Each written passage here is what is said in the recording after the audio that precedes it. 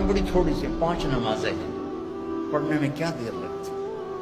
तुम भागते दौड़ते हो तुम्हारे क्लासेस हो रही चलो, खाली फ़र्ज़ ही पढ़ लिया करो।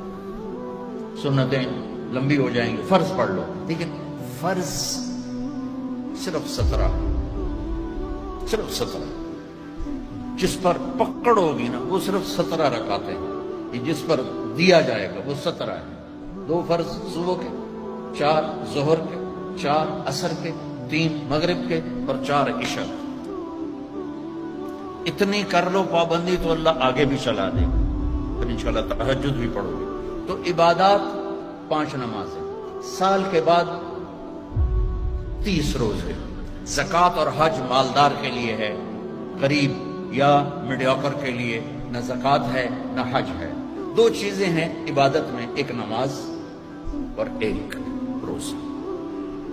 रोज़े में गुंजाइश दी है। सफ़र पे हो, माफ़। चाहे एयर कंडीशन गाड़ी में जा रहे हो। मुसाफिर हो, माफ़। बाद में रख लेना। बीमार हो, माफ़। बाद में रख लेना। नमाज़